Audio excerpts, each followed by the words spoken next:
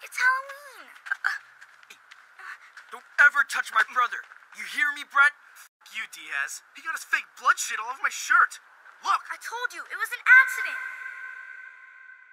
Well, this is probably going to be a contentious video. I want to make this perfectly clear before we start the video. I don't like politics. Now, that doesn't mean I don't think politics are important. I don't think that people shouldn't be talking about them, or that games can't talk about them. The thing about art is that it can carry a message in it, whether it be moral, social, or political. And frankly, that's great. It gives more meaning. Art is a perfectly fine vessel to convey an artist's feelings and can be more powerful as a piece when it has something to it.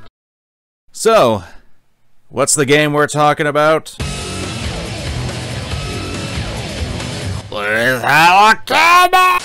Gonna be honest, once True Colors comes out and I'm done with that video, I'll be glad that I'm moving away from this series. The son of a bitch! Life is Strange 2 is a weird beast, mainly because according to 72% out of 12,000 people, they didn't even know the game existed!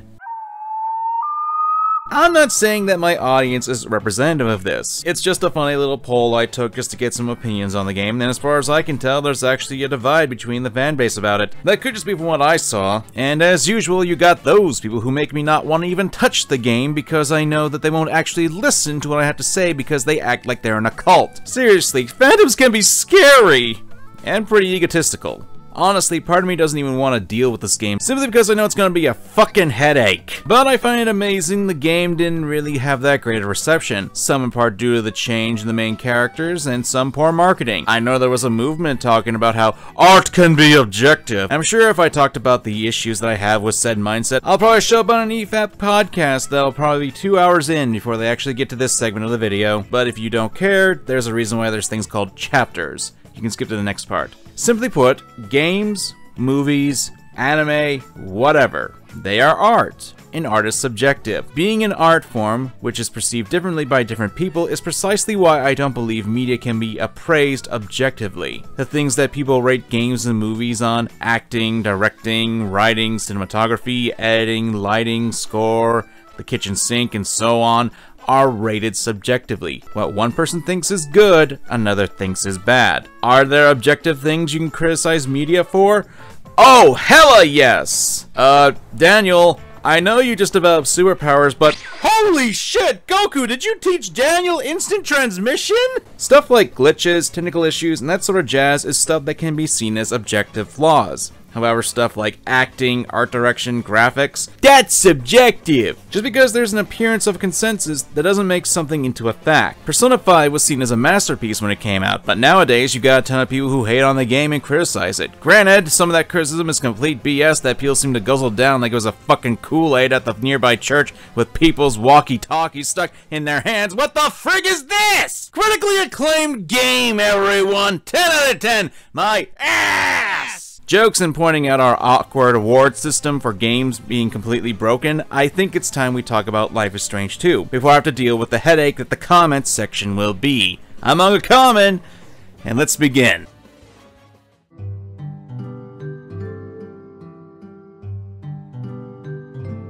So, Life is Strange followed the story of Max and Chloe, with Max having time travel powers. Meanwhile, before the storms approach...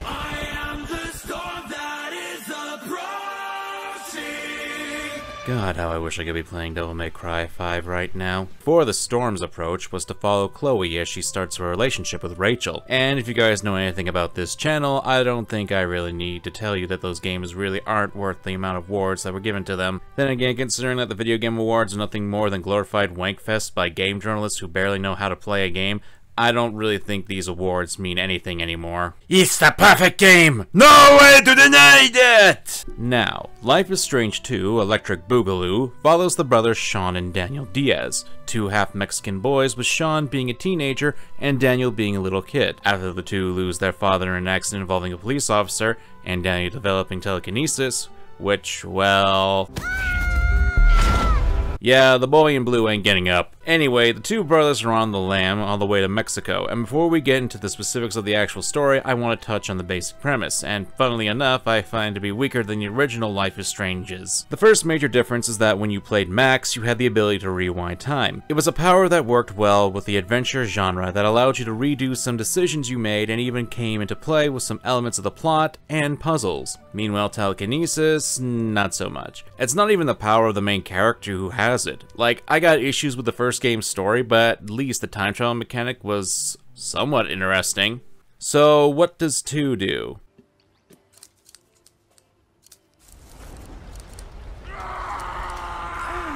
Obviously, I'm being a bit hyperbolic for the sake of comedy, but not by much. That's the thing with these adventure games. They have a limitation on forms of gameplay, or at least that's what they have evolved into nowadays. You see, boys and girls, I come from the time of Monkey Island, where these kinds of games would have a different kind of engagement to them, where the majesty of point-and-click adventure games would have you talk to various people, grab various things, and solve puzzles based upon your inventory and be able to communicate with people. While it was on the rails, it at least provides an entertaining show that distracts the player from the path they're supposed to take. This is kind of a complicated aspect for me to explain, but I guess the best way to, to put it would be I can see the puppet strings that the developers have for this game, and when you have the story on rails with the choices being up front and yet still being led along where the developers want you to go, it can be very distracting. At least with Max, the time traveling powers at least made it so she could be a bit more memorable, and you could take back your choices. But there was a drastic shift. The shift from take your choices at any moment to your choices gradually evolve and change Daniel's personality is neat, but mechanically unfulfilling. It doesn't really feel like they utilize that shift all that well, at least to me. Especially when there's nothing else to the game. Most of what Sean can do is extremely dull. Pick up stuff, look at stuff, draw some stuff, talk to someone's stuff. There are no real puzzles to solve, no challenge, no real difficulty to figure out what to do next. Gee, thanks Don't Nod. You really made me understand why I love video games, just as exciting as folding my laundry. Another aspect that doesn't help is the basic story structure change. In the original game, it was a quasi-murder mystery high school drama with a supernatural bullshit twist. And frankly, I prefer there to be some mystery in a game. Here, the murder isn't a mystery, and we're just watching the Diaz brothers' lives get progressively worse. So it doesn't feel like the plot is progressing except for when Sean says, We must shift down in Mexico! Seriously though, I think Sean is a furry. Just look at his notebook. He's totally a furry. What is this? What is all this shit? He's a furry. Is that Cool Cat? Cool Cat on weed? Total furry. What is this? What is this? Oh my god! Back on topic, obviously there's going to be a preference for these types of stories. A mystery is more than likely to get a few more people invested as it entices the audience with a question that they can draw people into. Life is Strange 2 does have sort of a mystery, but in comparison to Rachel's disappearance in this one, it doesn't really act as a driving force for the two brothers and their escapades.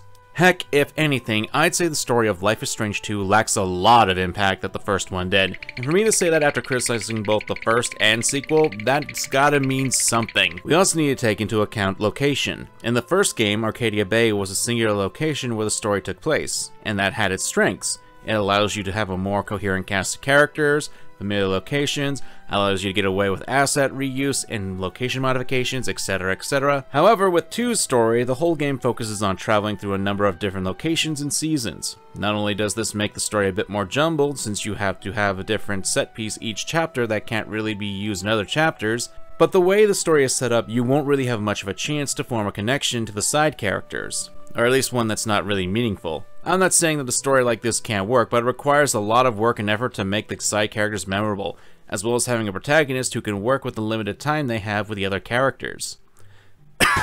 now we've gotten that out of the way, let's actually dive into the story and the issues I have with it.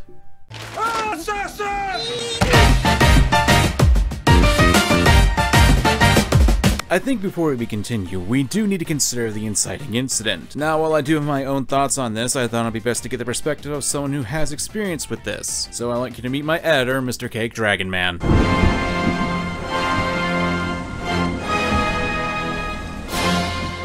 Hello, good morning, guten tag, uh, good evening. Uh, and all the other garbage. It's me, Mr. Cake Dragon Man. Now, for those of you who don't know, I have been editing the Life is Strange videos since day one, and if I look at Chloe Price's stupid, dumb face again, I will actually end my existence. Now, I was tasked to watch the initial video right here, and the reason why is because my family has a bad history with cops. We do know shitty cops when we see one. We live in fucking Florida, so you already know that shit's fucked. Now, I'm gonna watch the initial scene and I'm gonna give my commentary on certain things that are just wrong. So, as Philip DeFranco says, let's just jump right into it. Now, the first initial thing that I have to say here is I hate Sean and his dumb face and his dumb furry comics and all this other garbage that he does. He always makes things worse. I don't think I've seen a single scene where Sean has actively made things better. Yes, I understand that he is 16 years old, but even a 16 year old isn't a complete dumbass. This man literally has the IQ equivalent of Luz Noceda from the Owl House, and trust me, that's not a good thing. While watching the scene prior, we do get to see that the, the kid, uh, the racist kid with the fake blood on his shirt, is definitely a piece of shit. But the problem that I have is that his insults are just lame. Oh yeah, go hide in your dad's garage. He's a fucking retard. Take the little baby back to his crib. Yeah, go back to daddy. Pussies. He literally does the fucking ooh woo voice and shit. I swear, when? Also, if the entire family are a bunch of racist assholes, why do you live next to them? Granted, we don't know the situation between the family of the racist kid or the, uh, I don't know the fuck what Sean and Daniel's last names are. Still, there should be some sort of like middle ground you should meet. I mean, there's no way that this is Daniel's first offense of being a complete dumbass. The IQ stem does not fall far from the tree of this family because I'm gonna explain why everyone in this family are a bunch of dumbass idiots. With Sean, you can choose to do the right thing for him to be mad at Daniel for spraying that stuff on the other guy, and then you could walk away. I think the problem that I have though is the fact that like the kid just keeps fucking going, and him talking about his mom like essentially sets him off, and then after that we get this this this neat punch in the fucking face.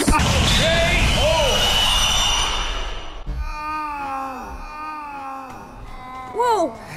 Sean, you hit him! I like the fact that the racist kid literally got no shots in to just to prove how pathetic they are. Listen, I understand that you want to write racists in a bad light, but at least get a few shots from the other kid, you know? I, I don't expect wimpy artist bitch boy Sean to take on a guy who I'm gonna just guess and say that he's like some sort of like athlete of some kind. Let's just say he isn't, and he's a normal kid. Then the cop comes in when uh, Daniel pushes the kid to the ground and apparently he just fucking expires. Which, no, listen, I have seen Matt Hardy fall down, and I understand that kid's a babby, he's a little boy, but I'm also gonna have to say bullshit because he landed on the grass. If there was like a rock that his head laid onto, th- then it would have been possible for him to fucking die. If anything, the, his back hit a fucking rock, but it was a very thin rock, a very shitty looking fake ass rock. Uh, so that might have hurt his back. The, the biggest fuck you to me is the cop. He's just absolutely terrified of these children for no reason and is inexperienced. There should be two cops, by the way. From what I have seen, you are not allowed to go solo during rides. You're supposed to have backup with you at all times. And for some reason, this fucking goober over here is by himself. Obviously a rookie, obviously scared of the situation at hand, so we don't know why he's fucking there. And then the big scene with the dad. No, no, no, I'm sorry. Sean fucking instigates him more. Step away. Now. Calm down, officer. You dense motherfucker. If you are dealing with a bad cop or racist cop or any of those cops, you have to listen to what they say or you will be in trouble. Unless they are actually provoking your rights and being fucking bastards to you, then you have to listen to them or you are going to get fucking hurt. But the problem with this cop is he has a gun. He doesn't take out a taser. He takes out a fucking gun on two children. What the fuck? The fucking dad runs in and tries to stop the cop. We didn't do Sean, anything. be quiet. I swear. Officer, Sean! listen. Oh, I'm sorry, Dad. Daddy, Be quiet. I want to go home. They're good kids, officer. And then you know he gets shot and fucking dies and and then and then Daniel does his stupid powers and shit. And yeah, this is the portion where I give my final thoughts. Uh not all police are bad. In reality, they go in pairs. So uh this makes no sense in reality whatsoever. Uh, thank you, MangaKamen, for the money. I will now spend it on uh, a REM body pillow. Now get the fuck out of my trash hole! I appreciate my editor's take on this. Now, granted, there are some issues that I do have with this opening. I'm not blind to the anti-cop rhetoric that our country has, and I'm certainly not going to deny that there are terrible cops in the United States. But I'm really hard pressed to see how this particular cop is racist. Everything giving in the game that we can view about this cop says that this guy was only six months on the job and apparently did charity work outside of it. Nothing the cop said was racist. It's not like he went, Drop the burrito! the only aspect that can be gleaned from the game's information is that the cop was interacting with the main characters and their father. Now, if there's information I'm missing, please let me know. Anyway, once we get the copy of Life is Strange is opening, oh, Sean takes the knocked out Daniel and runs off. This is probably the part of the video where you guys think I'm gonna chide the kid for running away from the scene. Well, fuck you, you don't know me. Sorry to be disappointing, but considering that this is a 16 year old kid who just witnessed his father dying right before his eyes, I'm more than willing to be a bit more understanding, at least at this point in the story. No, no, no, no, no. My issue is the believability. Here's the thing when you set a story with a supernatural element in our real world. Unless there's been a presence that's been known publicly, the assumption of the real world and the setting that the story takes place in will be ours as well. That includes events, laws, and the culture at the time. More specifically, laws. We're shown that there's documented footage of the cop being killed by being flung over by a powerful force. Enough force to flip him onto the car and even push the car over. So how the bloody hell would a teenager be able to pull that off? But this isn't anime or a video game. How in the world would the cops be able to determine if Sean was even responsible for this sort of thing? What? Do the cops have their own psyche that tells them these things? I see nothing here. You see, that's the problem here. When you put a story based in our world, you're going to have to play by the logic of our world. In addition, I have no idea how the cops were unable to find the two brothers in the first chapter, especially since Sean still had his cell phone on him. Because guess what? Regardless if the phone is turned off or not, your phone can connect to the internet. If your phone can connect to the internet, the police can track you, and they can do it legally too. So for all intents and purposes, this should have happened. Fuck it. Go down to Mexico, you know? Denied! Casey Smith! Your Honor, uh, do I still get paid? Look, I admit I'm getting a bit too pedantic about this, but when a game wants to give a message about this sort of thing, you need to expect questions, and if at the drop of a hat your questions begin to put holes in the narrative, especially the basic setup, it makes it hard for me to want to actually believe this story. Then again, the characters make that a chore as well. Dead animal. Uh oh, we're gonna start another Kero the Wolf situation. Screw this! Ah, don't do that! I think it's important to realize that with this story, it has a completely different structure from the original game. I mentioned it before, but since Life is Strange 2 has the Diaz brothers crossing the country, as such, it means that the characters you meet will have much more limited screen time, and you'll have to limit development for them as well. The characters were the strongest part of the first two games. At least, uh, if you like them. But here, while the Diaz brothers remain the focus of the story, there's a single additional character in the entire story that remains a focus for more than a full episode. And while that character is important to the story, it seems that Life is Strange 2 generates characters only to toss them away at the first chance they get when we get to the next chapter. Sure, you might get a check-in on the character, but they soon disappear. Like, take for example, I know what you're thinking. No. It can't be. Glasses, reddish hair, hipster. He likes to make literature references in his writing. No! It's. It's. No! You know, I always wondered what would happen to Alex if he was able to survive YiiK. It's only appropriate that he be writing a progressive blog talking about nudists. In a gas station, in front of a little kid. Sicko. What the hell is this creep looking at? Anyway, Brody here only shows up for the first episode, helps out the characters in a big way, and save for a couple of small blurbs that you read about on his blog, that's the only thing you get for this character. So if the audience like this character, This place is the bomb!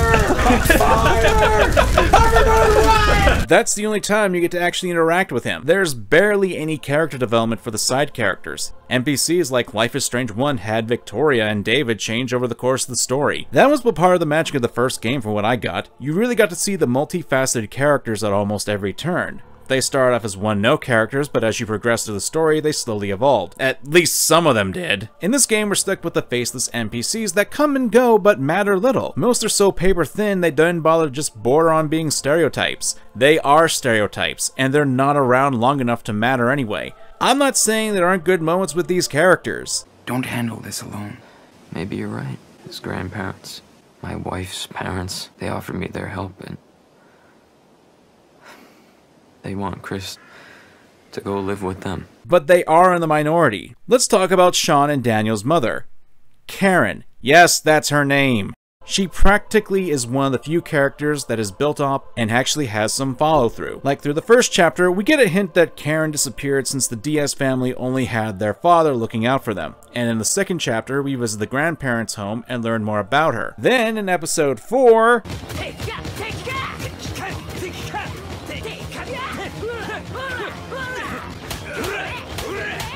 right, let's talk about Karen's reason for leaving. I didn't have a choice, Sean. We only have one life, and I didn't want mine to be spent in regrets.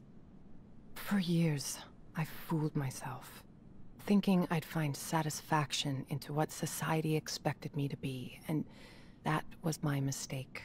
I hope someday you can understand that. Why does this sound so familiar? While the rest of us were pursuing college, careers, families. Sarah wasn't looking for any of that. She was looking for escape. However much she loved you then, it wasn't enough.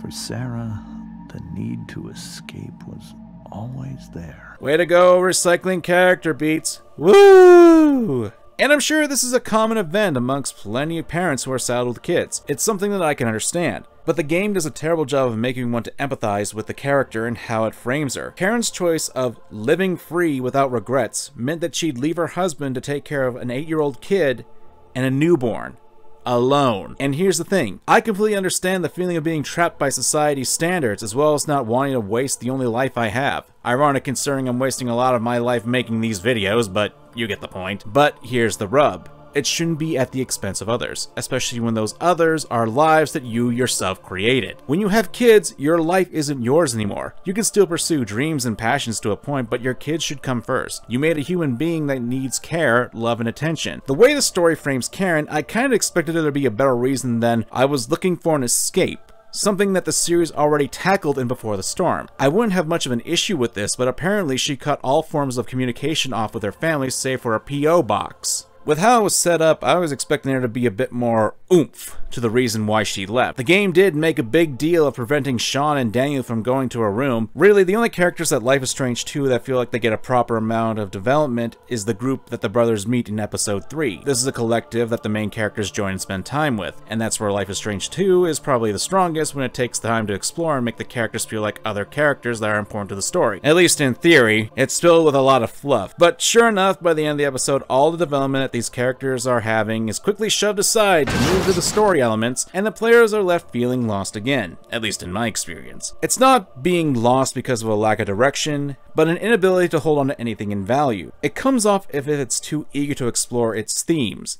and it ignores what the player wants to have something more than a fleeting experience. In my experience, players will constantly be trying to make lasting relationships with characters that they like, even choosing options in the hope that those characters might reappear. Yet, in this game, it constantly acts like it doesn't want to invest any additional time into the characters. It has a much more important story it wants to rush into, as it wants to really tell a story about racism. Hell, this even actually hurts the main characters, Sean and Daniel, because, well, I don't really care for them. They're really the only consistent characters, but the relationships and interactions with each other are conflicting to say the least. Not help that Sean is probably one of the blandest main characters in gaming I've ever played in a while. And it has to do with the formatting that a lot of the episodes follow. Daniel does something stupid, Sean knows it's stupid and warns Daniel, but Daniel doesn't listen. Things backfire on Daniel, Sean tries to save him again. Daniel starts to overreact and then uses his powers to make some heavy life death decision. Yay. And then the two brothers go back on the road it kind of gets redundant when you realize that's practically how every episode goes,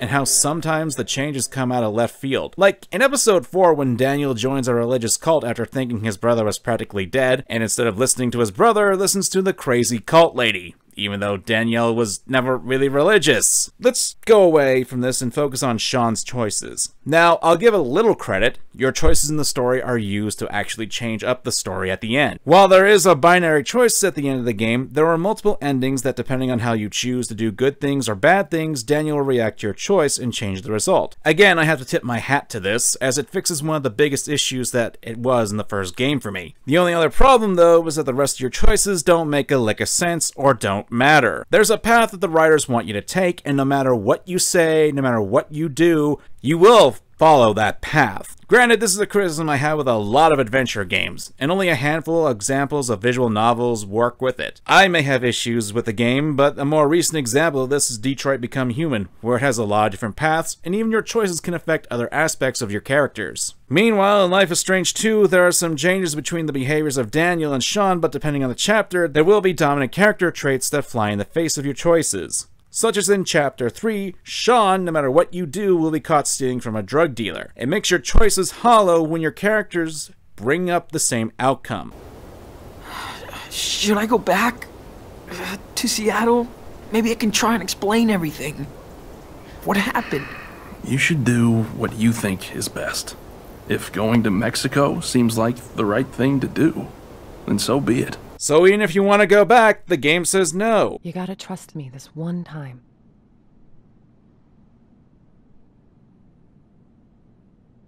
No, I don't. Not after what you did. But yes, we have to be a team to rescue Daniel. No, but yes. Uh. Got this, Sean. Daniel can open that safe with his eyes closed. Come on. No, Merrill's probably wasted, like every night. You guys can get to Puerto Lobos in style with a, a nest egg. You don't want Daniel to be homeless anymore, right? Huh? Then let's do this. I wouldn't let you in on this if I had any doubt.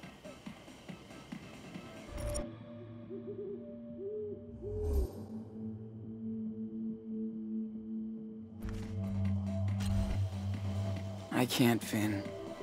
No way. Too dangerous for Daniel. Nah. Daniel is the dangerous one. Nobody can even touch him. Twelve seconds later. Finn is out of control. Has he done this before? Fuck us over? Not like this. Why now? Because Finn thinks Daniel is his golden ticket?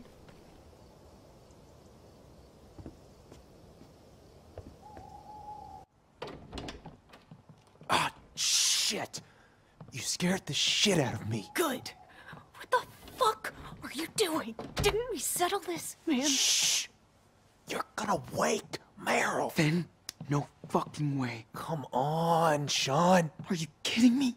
How could you do that, Finn?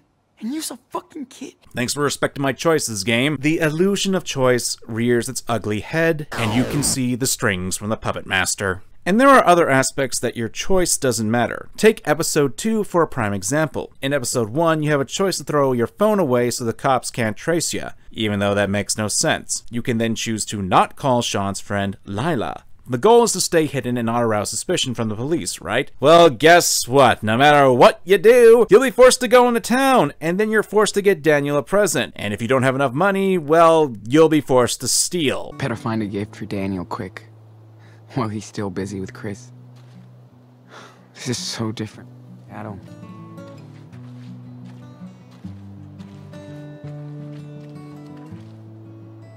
I. I know it sucks, but. Daniel deserves it too. Right? Even if you don't use the phone or the internet, the police still come because someone saw you at the market and you're forced to run away. Thanks, game! One more example and we'll move on. In that same chapter, Daniel will want to check out Karen's room, and, well... I want to go check on the room. Upstairs. I know it's Mom's. Please.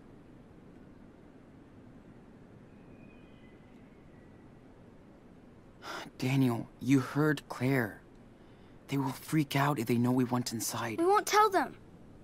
We'll be in total stealth mode. 12 seconds later. Sean, this is super easy. I can just break the lock with my power. Stealth mode, huh, Daniel? As you can see, even if you don't want to, you still gotta do this. And this just makes me dislike the characters in the game's choices as a whole. What's even the point of the choices if they don't actually affect the path? It's like Final Fantasy Hallway all over again! Hey, Michael. Yeah? Try to play the game. I thought I was But I've been using the wrong controller the whole time. Here's the thing. The characters, including Sean, are out of my control. Don't Nod is completely focused on how Daniel sees you, and while there are some effects to that degree, it's at the cost of changing the story. I was forced to do stupid things in episode 1. I was forced to do stupid things in episode 2. The smoke has disappeared and the mirrors are shattered. The illusion of choice has been broken, which is the worst thing you can do for a game that says that your choices do matter. And we go back to Sean and Daniel as characters, and how the redundancy actively hurts them as such. Not help that I don't find them to be compelling characters. Sean especially since I find him to be extremely bland and boring. Sean is the typical teenager who's not too confident in himself and who suddenly has to grow up in order to take care of his little brother. He isn't really charming, he isn't really all that interesting. He's average, and while that's great for realism, that in of itself is a problem. Average people are boring as all hell. Chloe, for all the issues I had with her, I could easily say she didn't bore me. She pissed me off and made me question the blood alcohol level of all those working for Don't Nod, but at the very least, she had my attention. Sean? Well, there's not much to say about the guy. He likes to draw, he's a furry, but there's not much to make me really care for him. Sure, bad things happen to the kid,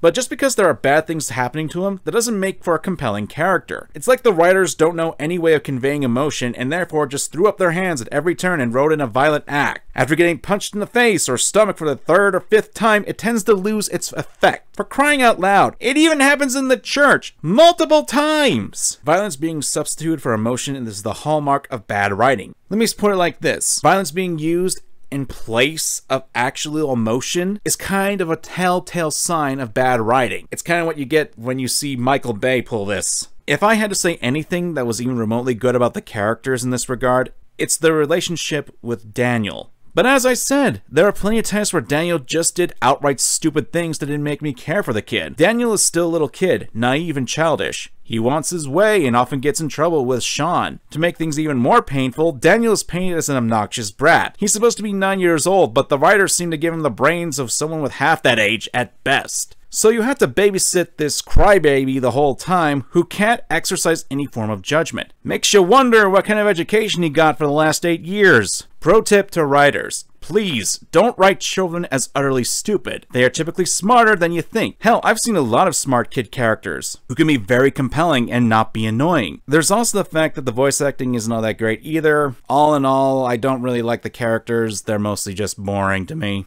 Well, we've gotten to the point of the video that I'm dreading. The political commentary. Then go back to your own country. I'm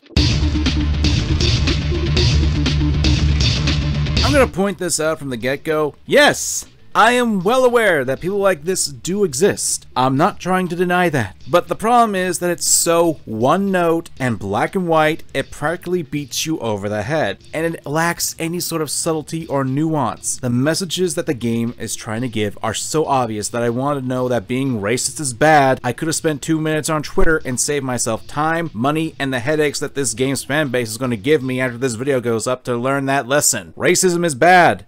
Well, Thanks for that one, Don't Nod. You're the reason we need to build it. Yes! ah! There is no such thing as subtlety in this game.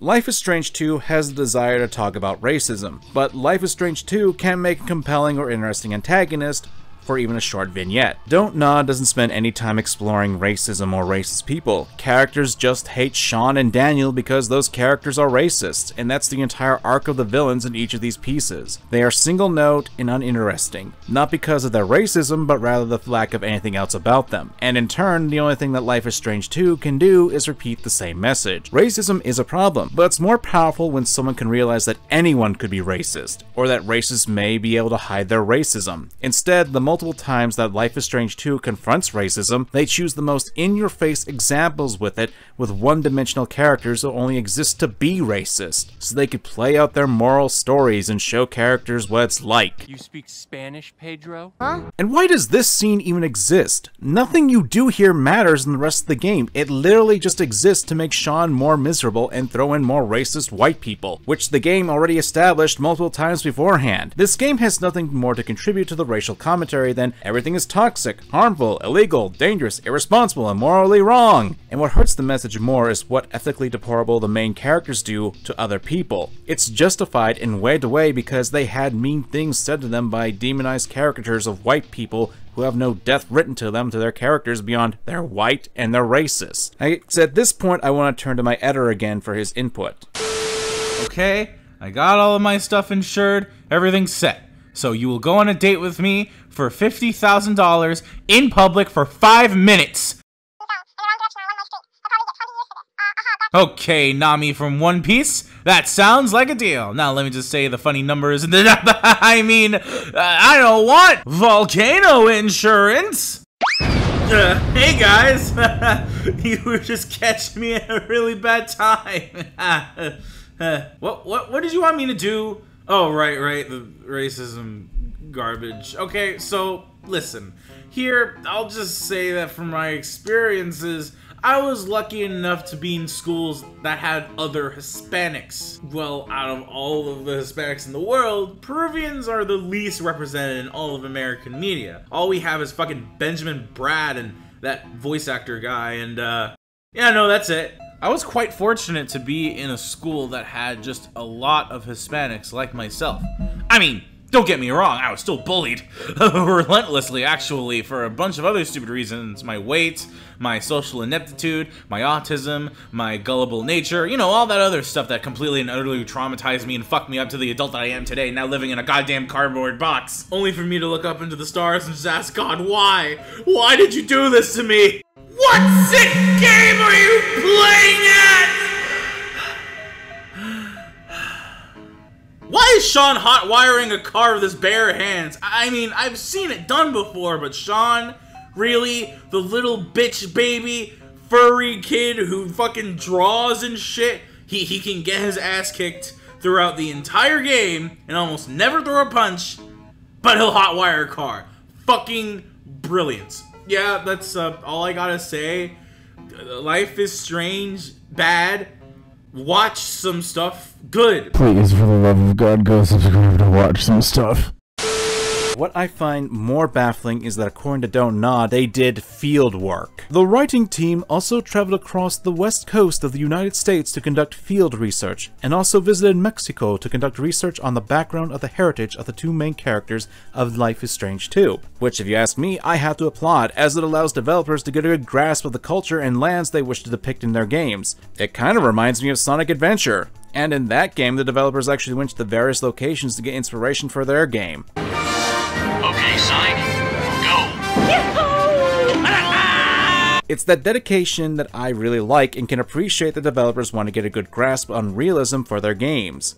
But here's the thing, realism does not equate to good writing, and when you have a scene like the one in episode 4 that doesn't really add anything to the game or story, it hurts the overall message. The message is blunt, and it beats you over the head without talking about anything really deep about it.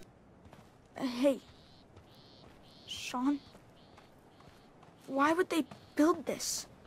Well, Oh, you gotta be fucking kidding me! I just find it to be overtly on the nose and extremely one note. And it's not just with the racism. Cops are evil bastards and shoot before asking questions. About half the white people you meet are evil racists, religious folks are evil fanatics, and hippies are all good guys who just happen to love drugs. Even if you choose to steal from the drug dealer in chapter 3, it's framed as a good thing. Did they really have to paint such a binary world in which everyone is either supremely good or incredibly evil without any sense of subtlety? But I think I know why. This is just my own theory, but don't Nod could be avoiding the possibility of having the audience be overly sympathized with bigots, as it mainly comes off as a heavy-handed shortcut that conveniently uses realism as a guise to avoid having more complex characters. And once again, we have redundancy popping in. These racist people do the same thing every time. They say something racist, then unsubtly allude to the former Cheeto president's rhetoric before violently acting out and beating Sean, which happens a ridiculous amount of times. It reinforces how dull the writing is and how Don't Nod lacks the care to properly tackle a tough subject subject. Also, side note, since I couldn't really put this anywhere else, I love how every other character is stupid too. Like in chapter 4, before you break out of the hospital, you find that there's a message for Sean in his sketchbook that tells him where the twitchy hippie guy took Daniel to. Apparently his name was Hackerman. I like that, Hackerman. But the FBI never thought to look through Sean's possessions? Ugh. Anyway, I think you guys get it. I don't think Life is Strange 2 does a good job at a lot of things. So here comes the part of the video that I've been looking forward to.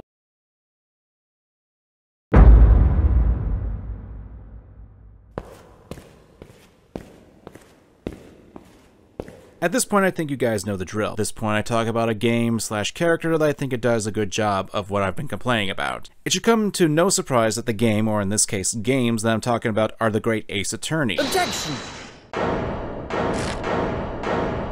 Obviously, narratively, character-wise, and presentation-wise, I find these two games to be a much better than Life is Strange 2. Hell, I honestly believe that these two games tackle the subject of racism in a much more nuanced manner, too. To give a bit more synopsis, you play as Ryunosuke Naruhodo, an ancestor of Phoenix Wright, who gets thrusted into the world of law after an incident that I don't want to spoil at the moment, and travels to London in order to fulfill a dream. As Ryunosuke, you'll come across several colorful characters and twists and turns in the dark underbelly of the 19th century London, trying to find the truth and defend his clients from false accusations. I'm gonna say it outright, I think this is a much better game series than Life is Strange, especially 2. So let's start by tackling the characters. With the exception of the first two cases in the first game, the Great Ace Attorney for the most part has its story stay in the same place. It's not a road trip story. But to point something out, with the exception of the main cast of four, the cast for each trial tend to have some very unique characters that you most likely won't actually see again. And this is due to the personality and design of the characters. Even though you don't specifically remember the characters' names, you'll more than likely remember the characters' appearances in your head because while grounded, they can still be quite outlandish. Rolly the sleepy cop, his wife Patricia, the Skulkin brothers, Drebber, Madame Tusspells, even the jury can be unique characters in and of themselves. Now, obviously, this sort of thing is highly subjective. I'm sure I'm going to get a lot of people telling me that they found Life is Strange 2's cast to be much more memorable. And that's fine, but please, Hear me out for a second. When it comes to character-based stories, I'm of the mindset that I prefer there to be a hint of style over realism, as it helps punch up the story and makes it a lot more interesting. A pinch of style can go a long way to help make your story a lot less dull. I'm not saying it has to be as hot as Persona 5 style, but a little flair to your game never hurts and only helps. Hell, that's especially true with character design, and I get that Life is Strange 2 is going for more realistic, but the first game managed to punch it up with Chloe's blue hair, and at the very least she stood out from the rest of the cast because of it. I don't know, when I look at great Ace Attorney's character designs,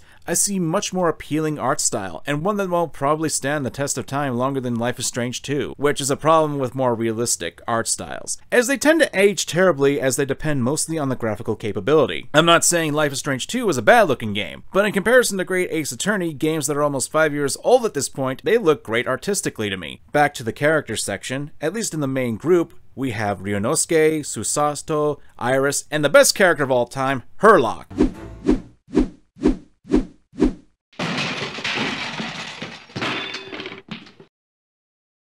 Technology! Right off the bat, you've got a much more colorful looking cast, with Ryunosuke probably being the most generic design of said cast. But considering that you're supposed to be Ryunosuke or be in his head, I'm willing to be a bit more lenient with his design. Besides, his design works since he's supposed to be a very uptight young man. Heck, in the first trial, you can see as he defends himself, he's very rigid and nervous, but you can see him coming out of his shell. Heck, To point something out, Ryunosuke is accused of murder at the beginning of the first game, and his friend Kazuma is opting to defend him in court. However, and this is where I make the parallel with Sean from Life is Strange 2, the court's rigged.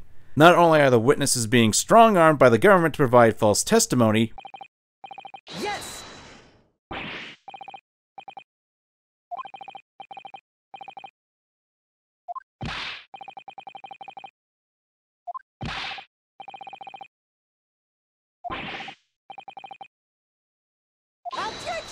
But it's really made apparent that Ryunosuke is supposed to take the fall in order to make sure that the relations between Japan and Great Britain are maintained.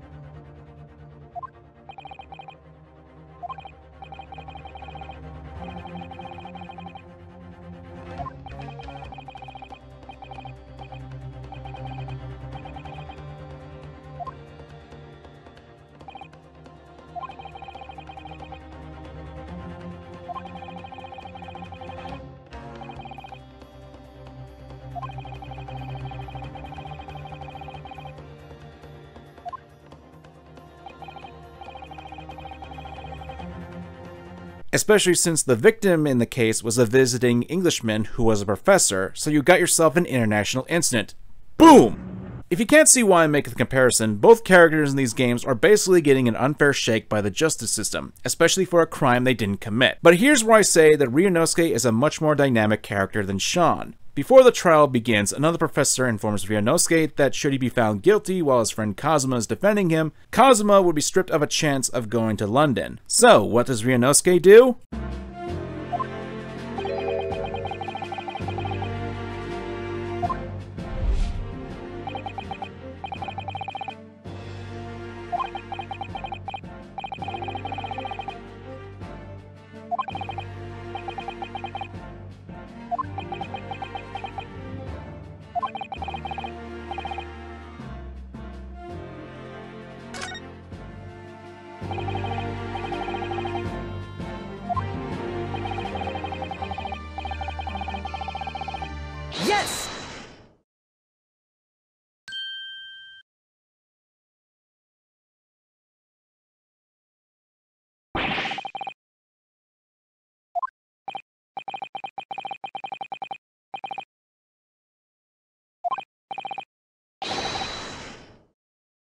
He performs a selfless act in order to make sure that he can protect his friend's dream. Immediately, I'm more on Ryunosuke's side, and I'm enamored by him because of this. While stiff and rigid, Ryunosuke happens to be a very honorable young man. So much so that should he fail, at least his friend would lose his dream of going to London. Yeah, it's a boneheaded move since he's unfamiliar with the court proceedings, doesn't have any experience with the legal system, and it doesn't help he's really nervous about all this. But here's the thing, I think it's a good comparison with Sean as well because both these characters do something really boneheaded for the sake of someone they care about. Ryunosuke putting his freedom on the line to protect his friend's dream, and Sean running away from the law in order to make sure that he and his brother don't get separated, is a good parallel if you ask me. There is a big difference, however.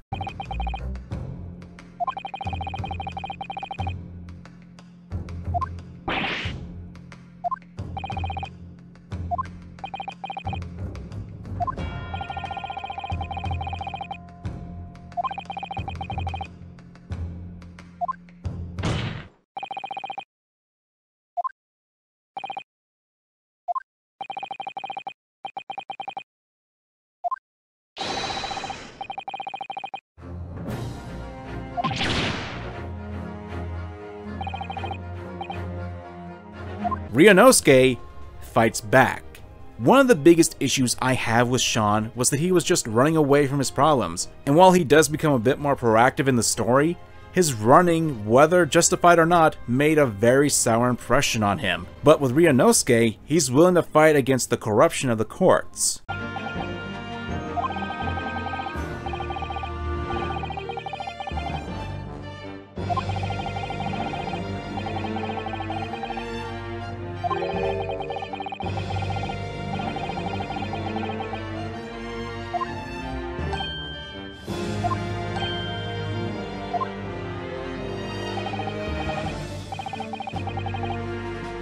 Ryunosuke just comes off as a much more dynamic character than Sean. They're both in similar situations where they're accused of murdering another person, they both act selflessly in order to protect someone they care about, and the characters are up against a system that is heavily weighed against them.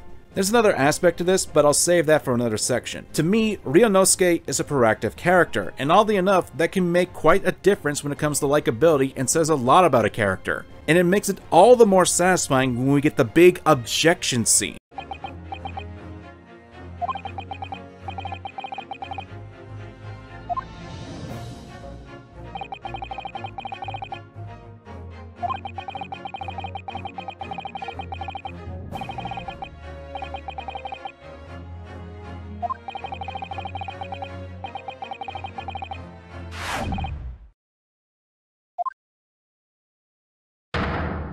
Objection!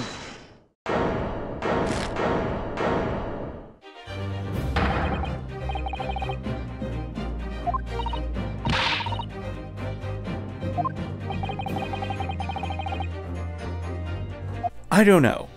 I prefer protagonists who are actually willing to stand up for themselves in these kinds of situations, and doing it in a way that progresses them as a character, watching Ryunosuke go from a timid paper tiger and turning into a beast who's after the truth, it just really drew me to him. Heck, when interacting with other characters, Ryunosuke seems a lot more human than the realistic teenager. Since we're able to see Ryunosuke's thoughts more often, we get his reactions to the more out there characters. But even with the interaction of the characters, most notably Herlock Sholmes, we see his personality really shine during the Dance of Deduction.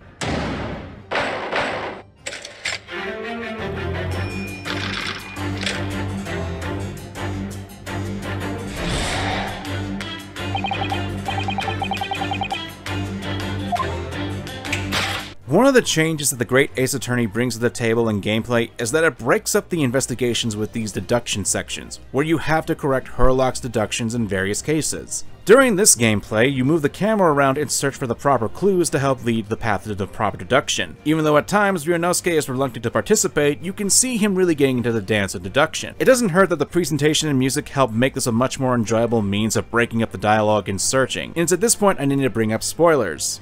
Again, this time for real since we're now talking about key story events from now on. During the second chapter, Kazuma sneaks Ryunosuke onto the boat to get them to London. But during the trip, Kazuma's life is taken, and Ryunosuke is accused of killing him. Not only does Ryunosuke want to clear his name, but he wants to find the truth of what happened to his friend. In addition, when the case is over, Ryunosuke does the one thing that really made me respect the character. Taking Kazuma's sword, Ryunosuke takes Kazuma's dream as his own and follows in his friend's footsteps, becoming an attorney and spending all his time studying the law so he can fulfill his friend's ambitions. I gotta say, that's how you make a character work really well. In comparison to Sean, who, while he does what he does for the sake of his brother, he's doing it in the worst way possible. He puts his brother in danger, he lies to his brother, he makes more problems for himself, and I'm sorry, but I don't feel like I should like a character like that. Ryunosuke, to me, is a better character. He's in a similar situation. He's lost someone close to him, and he's willing to do what he can in order to have his departed friend's legacy live through him. There were so many other options that Sean could have taken other than going down to Mexico. He could have sought out help from his friends and co-workers. They certainly want to give him that help. I don't know, when it comes to this sort of stuff, I acknowledge that this is really highly subjective, and a lot of this is up to interpretation. Save for the presentation, music, characters, and gameplay, I will say The Great Ace Attorney objectively beats Life is 2. Besides, you're essentially getting two games for the price of one.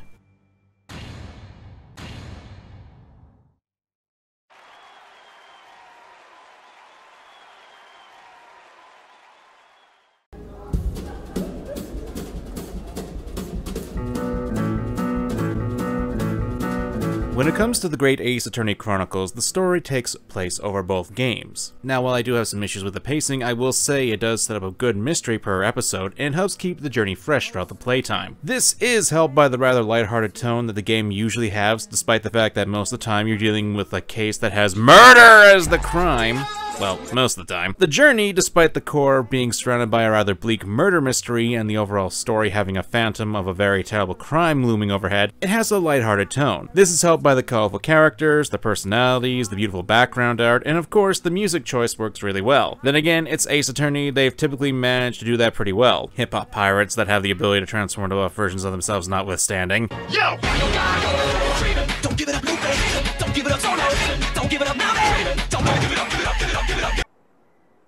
What the hell was that? It also manages to cover a very interesting theme of racism, and it does so in a way that's a bit more nuanced than I like to think than Life is Strange 2. Let's not tiptoe around the issue. Ryunosuke deals with racism in the games. Even in the first trial, the real culprit blatantly flaunts that she's better than the Japanese people and knows that she can get away with murder in their country. She even calls their language dirty, and isn't the only example. There are much more subtle forms of racist behavior from the English characters, such as claiming the only reason why the jury could be changing their guilty votes to not guilty is because, and I'm not kidding, Ryunosuke is an Eastern sorcerer using his black magic on the jury. And the jurist calls him a dark jinx.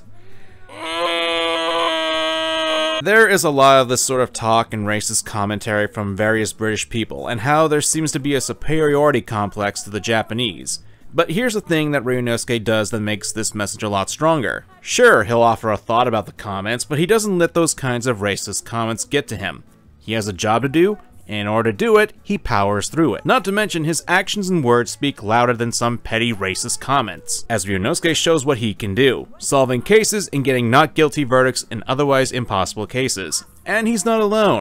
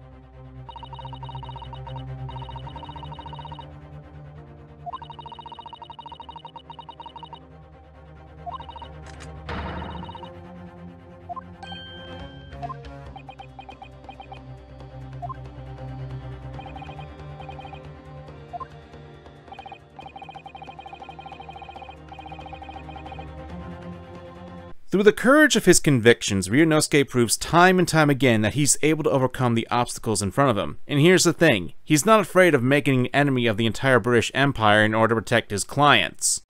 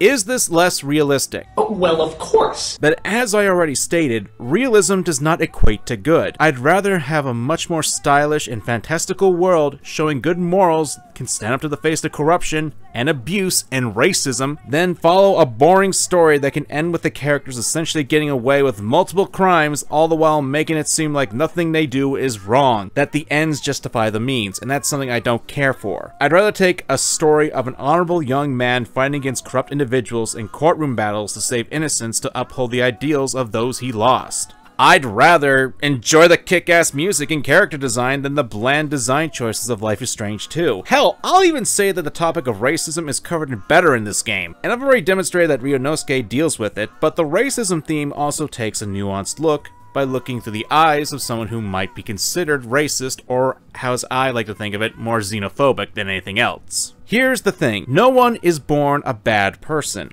No one is born racist. No one is born into this world entirely good or entirely evil. This is a belief that I hold true even to this day. And as much as the internet would like you to believe, I believe in redemption and allowing people to grow from their mistakes. So long as the line isn't crossed, of course. And that's where we reach our racist character. Barok Van Zeiks, the lead prosecutor in both games, and also a character that people seem to really be divided upon. It's no secret why. On the one hand, the guy can be xenophobic, referring to Ryunosuke and Susato as Nipponese, and constantly berating the two, even going off stereotypes such as them being overly imaginative. And on the other hand,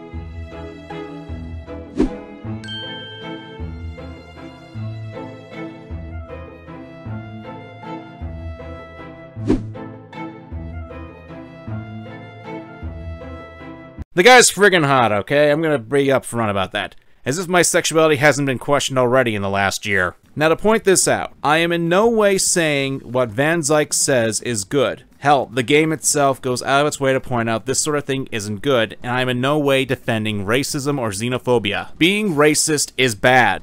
No shit! I can't believe I had to say this. This isn't a defense for his actions, and the game doesn't paint this out to be a good thing. If anything, it shows that it's terrible. What it does show is Van Zeiks' reasoning for his attitude. Again, this isn't an excuse for his racist comments, but here's the thing that people tend to forget. Historical context, and we need to take a look at this maturely. I know it's a tough order for most people on the internet who love to write essays on Reddit or Twitter and act like they can never be wrong about anything. And to those people, I have to say, enjoy the real world, boys and girls. Welcome to this thing called life. These sentiments were common in society at the time Ace Attorney takes place. But what Van Zeiks and others said and did against Naruhodo and Susato and other Japanese people, like a certain culprit slash victim of said certain reporter and other non-white ethnic groups, were as wrong then as they are wrong today in the 21st century. And here's the thing, Van Zeiks admits in the game that he's wrong about this behavior. There's a good reason why I'll go into later, but I need to establish this because I've been on the net for a long time and I know that people are going to argue about. I also know people are going to take this out of context. It is fine if you don't like him as a character for his behavior, his actions, or what he's said. That's perfectly fine. I understand that some people are more uncomfortable with this. But you do need to admit that he himself acknowledges his behavior is bad and even apologizes and changes his ways at the end of the games. And I still people who know this and say it isn't good enough. This happens in the real world too, where someone does or says something bad and then they grow up, realize they were shitty, apologize, try to change their ways, but people continue to treat them like they're the same jerk they used to be. What do you want from Van Zeiks and these real people? Admit they were wrong and stopping the bad behavior wasn't enough for you? What should Van Zeiks do instead? Keep being unapologetically racist so you can be mad at a fictional character? Should he have died? That's not interesting, rewarding, or good character writing. We should want people with bad behaviors to change. We should want them to see the errors of their ways and grow as characters. Here's the thing. What motivation is there for anyone, fictional or real, to strive to be better if they're not given the chance to actually grow as people and learn from their actions? Especially if their previous actions were caused by a form of deceit. Great Ace Attorney Chronicles actually takes a risk and attempts to explore the concept of racism and explores why someone can have a bias against a group of people.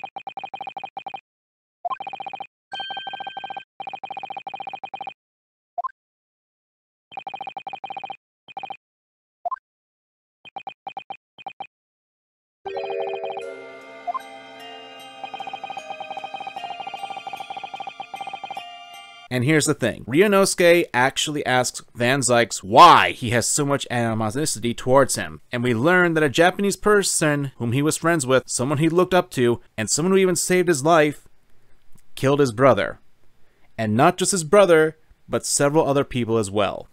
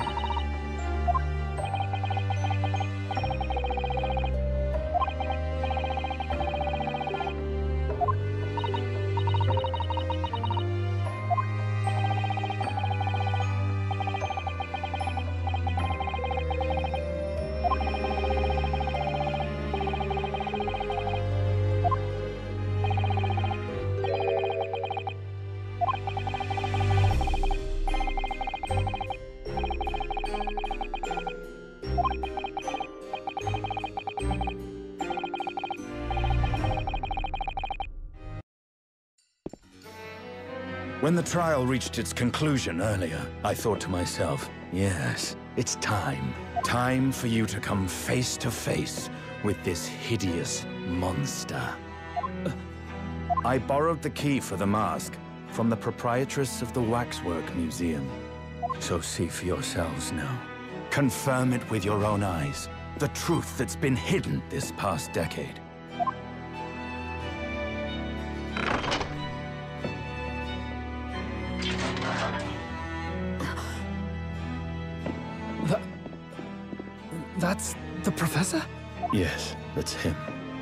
Until now, the thought never even crossed my mind. That the mass murderer, whose crimes shook Britain as never before, was Japanese. Barok Van Zeiks had once placed all his trust in a Japanese man only to be betrayed by him.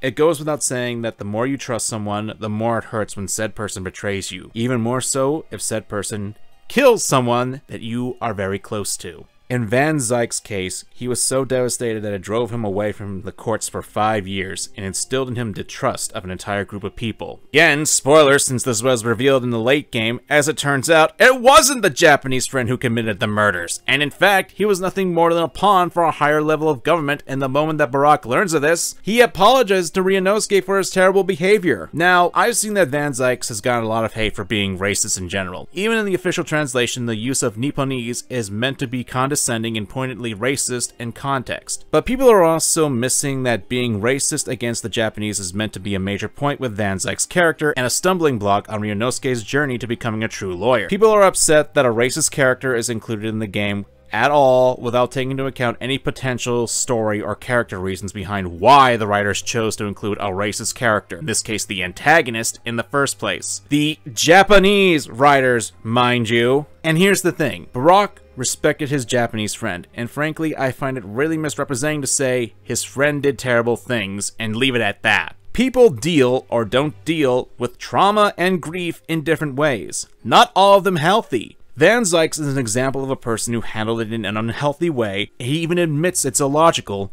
but gets over it as the game progresses and is upfront with how he was wrong. The fact that he lives in Victorian England that already had that and barely knows any Japanese people before Ryunosuke and Susato makes it easier to view the Japanese as a faceless monolith that he can direct his anger towards because the logical target of his anger that he hasn't got over is dead. Again, to point out, Van Zeiks at one point acknowledges he's being illogical with his actions, his words, and his behavior. So it's not like the game depicts his viewpoint as a valid way to handle those emotions. He's actively fighting against his preconceived notions and illogical thinking, but his emotions and trauma still haunt him. He admits he was wrong to hold such a deep loathing, and by extension, to give that loathing a voice. Throughout the games, Van Zeiks is actually shown to be quite honorable. He's a man of logic, to cling to something which he refers to as illogical is about as wrong as one could get. He also admits this was an unstoppable force that he could have controlled, but he was just too weak to do so. The hatred of what happened to his brother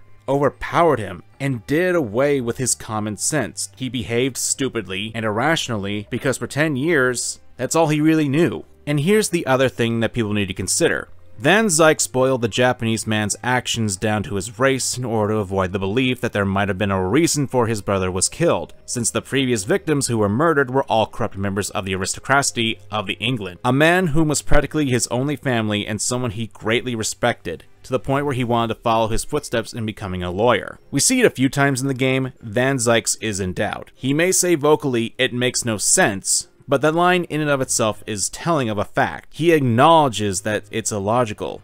And it also points out he's skeptical about the situation. He knows something is wrong about the story. He knows there's something he's missing, but he's afraid. He's afraid that if he dug too deeply, he'd have to acknowledge that perhaps his brother was corrupt. And funnily enough, he was right. Personally, I find it a compelling part of his character that a person who is so rational in certain aspects is extremely emotional and irrational when it comes to processing his grief. And it's not like it's a heel turn change either, it's a slow burn for Van Zeiks to throw away his illogical hatred as he kept on interacting with Ryunosuke. And before you say this sort of thing is impossible, I hate to tell you, but this sort of thing has actually happened in our real world. Sitting down and talking, not necessarily agreeing, but respecting each other to air their points of view. Because of that respect and my willingness to listen and his willingness to listen to me, he ended up leaving the Klan, and there's his robe right there. I am a musician, not a psychologist or sociologist. If I can do that, anybody in here can do that. Take the time to sit down and talk with your adversaries. You will learn something and they will learn something from you. When two enemies are talking, they're not fighting, they're talking. It's when the talking ceases that the ground becomes fertile for violence. So keep the conversation going. Thank you all very much. Now, to make it clear, this isn't a surefire thing. Nowadays, most people are too hard-headed to with their own opinions and frankly don't want to understand other people. But you want to know what the real kicker is? Ryunosuke says this. Reminder that this game was made by Japanese people, and that Ryunosuke was the most prominent target for Van Zeiks' racist remarks. Really speaks a lot of our main hero who's willing to at least understand where a terrible person is coming from, to learn from him, and to possibly help him. Also, to point out, Ryunosuke doesn't take this crap all the time either. Calling people out on their bullshit is a very useful step for them to notice their mistakes. However, I'd be remiss if I didn't point out that's a very Western viewpoint. It's easy for someone like me who's born and raised in America to think that Ryunosuke should stand up to himself and call Van Zeiks' prejudice a little tosser who needs to think before he speaks. But here's the thing, that's not a part of Ryunosuke's character, nor is it a part of what he was grown up with. Ryunosuke is written to be your everyday Japanese person, and their view on confrontation in Japan is quite different from our own. You see, Unlike what people like to think, Japanese people are non-confrontational. It's very important for them to maintain a sort of peace during conversations, so rarely will you actually hear them utter negative sentiments. Unlike in Western societies, the group is seen as more important than the individual. If you step out of line on any aspect, it has a strong impact on the way other people see you. Your basic character and values are at stake if they judge you negatively. This is reflected very clearly in the Japanese language itself, which has both a formal and a casual form, and which makes learning Japanese very difficult for outsiders. You know how you actually see like interviews of video game developers from Japan and they'll be extremely polite, but you know deep down they really don't care for something? It's to avoid embarrassment of other people, especially if they're addressing another person. Now, you can say Van Zeiks' arc ain't great, but it still opens up another view with his xenophobia. And at the very least, it does show that racism can stem from different resources, other than just blind hatred. It also shows that people can actually change over time and realize, hey, I was an idiot. Let me make this up to you. I'd even say that Van Zeiks' is more xenophobic than racist, since his insanely rude comments don't come from a place of superiority, but rather from a place of trauma and bad experiences that he's had. Because while people can both be xenophobic and racist, fun fact, these are not interchangeable terms. Sometimes people think that xenophobia and racism are similar and their usage can be interchanged. However, this is not the case as the two words are very different. Xenophobia refers to the dislike or fearing unknown or something that is different from you. Racism, on the other hand, relates to race determines the traits of a human and their capacity for making them more superior than any other race. Now, you can be racist and xenophobic at the same time, but Barok's actions don't come from a place of superiority because of race, since he doesn't trust anyone, even other British people. Heck, I'd say he's xenophobic because of the fact his trust was broken by someone he trusted for six years of his life. The latest victim was his brother, and the Japanese man who did it confessed to the killings. At least that's the story he was told. You can even tell this because none of his attacks were based on what the person looks like, but rather their character. And to be frank, Ryunosuke did leave a terrible first impression by defending an obviously guilty person who was willing to falsify evidence even in the middle of a courtroom trial. At least Van Zeiks also has other honorable traits. He doesn't lie, he doesn't use underhanded tactics in trials, and he's even willing to work with Ryunosuke and give trust to Ryunosuke when he's accused of murder. Hell, there's one point in the second game where he tells one of Ryunosuke's clients that he should put his faith into his lawyer, aka Ryunosuke. And yet, people will ignore all this. You can disagree, but at the very least, the game is attempting to tackle the subject in a more nuanced manner than Racists be all bad and they never change. Let's take a moment and talk about another prosecutor, Miles Edgeworth. And you wanna know something? He is actually worse than Barok! No joke, before Miles' redemption, he was terrible! Think about it. Miles Edgeworth, for years, prosecuted people who were found guilty. It's all but confirmed that he used illegal means to win, we see his dirty tactics firsthand, such as manipulating the witnesses. Sure, the updated autopsy report is a meme, but what if that was real forgery like Phoenix suspected? Even when Phoenix Wright was accused of murdering his mentor, Edgeworth's mindset was, better to condemn 100 innocent people than let one criminal go free. He would do his best to find his old friend guilty. There's also that lovely moment when he threatened to reveal to the court the disorder of a mentally ill, possibly suicidal woman woman, even stating, if you kill yourself, that's no concern of mine. This happened after his heel turn, by the way. But you wanna know why Miles Edgeworth is such a beloved character? Because he's hot. Because he redeemed himself. We can forgive a corrupt prosecutor for ruining innocent lives due to his trauma because he realized it wasn't right, but not being progressive enough in the 19th century England is way too cruel of a sin, even after the realization that irrationally hating people is not a good coping mechanism for having the only family you have being ripped away by someone you trusted and admired. Funny thing about that, huh? Never mind that Barok is absolutely spotless as a prosecutor compared to Edgeworth when it comes to courtroom antics. Hell, Barok hates hates perjury, and I want to make it clear. I love Miles Edgeworth. Hell, I used to cosplay as him. But it's a double standard to say it's okay for him to be able to redeem himself while Van Zeiks can't. The only thing that Van Zeiks is really capable of being irrationally, anagraphically not be redeemed is that he wastes so much wine and throws glasses into the courtroom gallery. Man, my voice cracked there. Van Zeiks can be a scumbag. I am not arguing that, but it ignores the good parts of his character, and I find it to be very reductionistic to view not only the character himself, but Japanese culture and how tragedy can affect people in negative ways. And it's not like we don't see other forms of racism in the game. The cases with the real life person Soseki Natsumi, who you can argue shows how harsh racism can be. Heck, part of the reason that Ryunosuke advocates Natsumi is because Natsumi can't get an attorney because he's Japanese. So, the game shows racism, not just in different forms, but also gives a real world example since Natsumi's experience mirrors that of the actual Soseki Natsumi's experiences in the actual time in London he had. At the very least, the game makes an attempt to showcase that racism is a complicated issue with varying degrees and motivations to have it. Things are not as they seem is a key theme to the Ace Attorney games, and that also applies to the characters. Also, to point out, when the game first came out, there was a popularity poll amongst the Japanese, only since because the game didn't come to the West for a few years. Van Zeiks was the third most popular character! I'm not sure what this says, but hey, it's a fun little thing to think about. So see for yourselves now. Confirm it with your own eyes. The truth that's been hidden this past decade.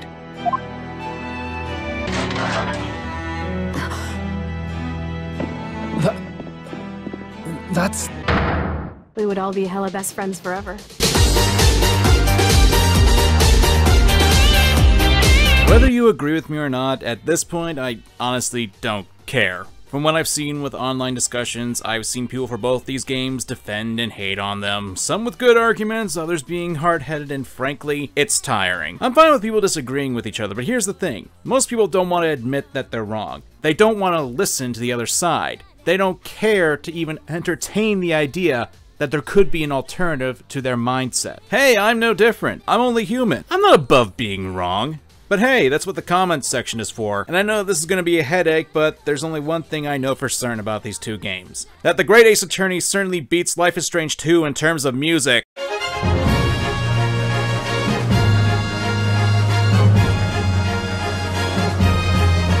Holy hell, damn horns! Seriously, one of the things I hated with the Life is Strange series is the constant use of music in scenes with no dialogue. It's a cheap attempt to elicit an emotion from the audience, and unfortunately, I can't argue that isn't an effective one, since, well, look at all the rewards! I love how that walkie-talkie was literally clipping through his fucking hand. He wasn't holding it. Look, at that! What is that? Look at the walkie...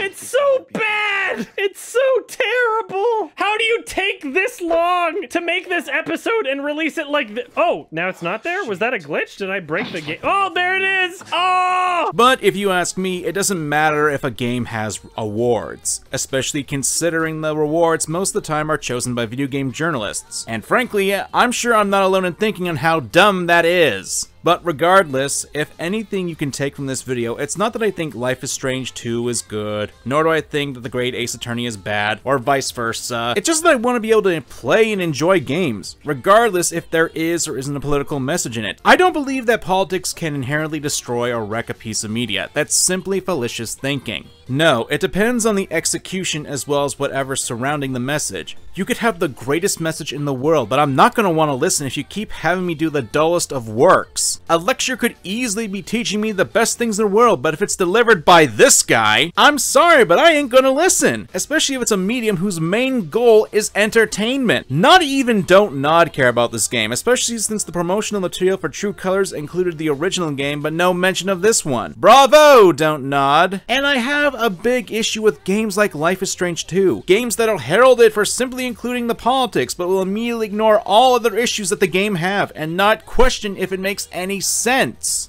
These kinds of games take away the attention from other games I think should get the spotlight, but also get a pass for some of the dumbest crap I've seen in a long time. No joke, I've seen people call The Great Ace Attorney a Japanese game made by Japanese people racist, simply because it has racist people in it and because the game at least attempted to talk about the subject of racism and xenophobia in a different broad manner. Meanwhile, games like Life is Strange 2 basically do the racism is bad and it's suddenly being treated as the Jesus of games, even though it's a French game studio that's commenting on American politics and as such has as much subtlety as a baseball bat to the head. So, I guess what I'm saying is, go get the Great Ace Attorney. I'm tired of Ace Attorney series being in hibernation, and we need to get more courtroom battles. We need to do it before I get arrested for even having the idea to even criticize a game like, uh, shit! Police, over there! This is the police! Come on out or we won't beat you!